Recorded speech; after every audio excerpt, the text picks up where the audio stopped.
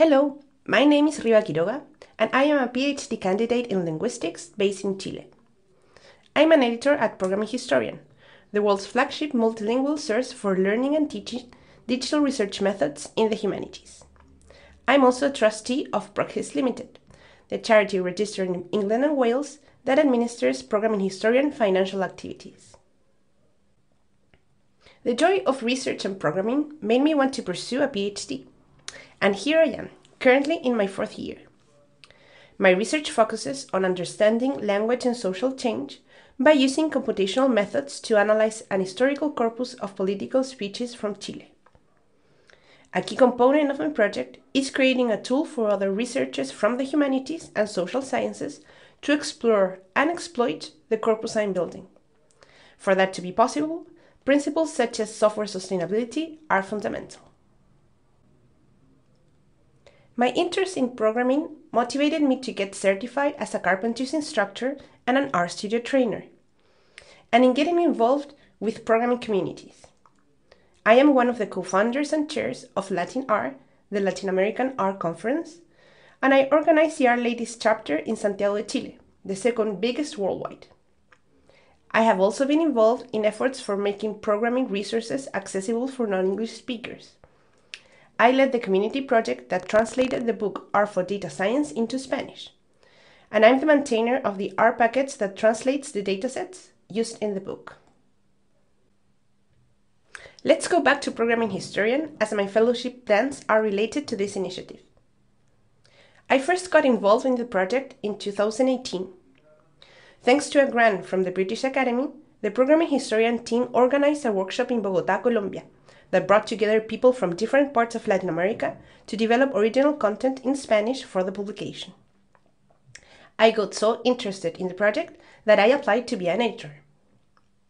In my past two and a half years, I've been trying to contribute not only to the growth of the Spanish publication and community, but also promoting good practices such as software citation and creating tools that facilitate our editorial workflow.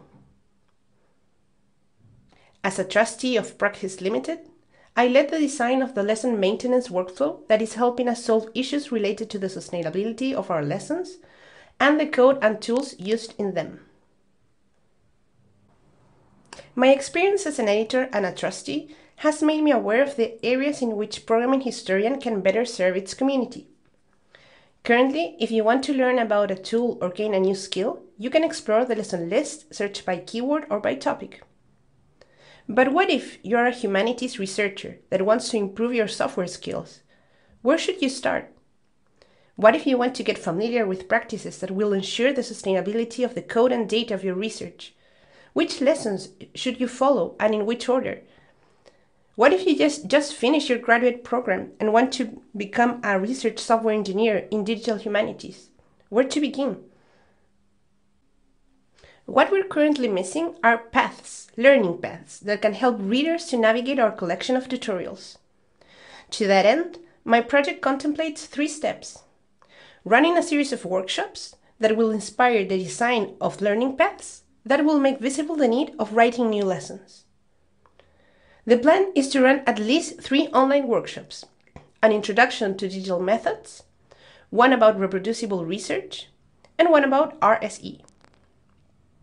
In this first part of the project, I want to target the Spanish speaking community. Why? Well, English speakers have more access to workshops about these topics. And also because this will be a great opportunity to spread the word about reproducibility and RSE to the Spanish speaking humanities community of practice.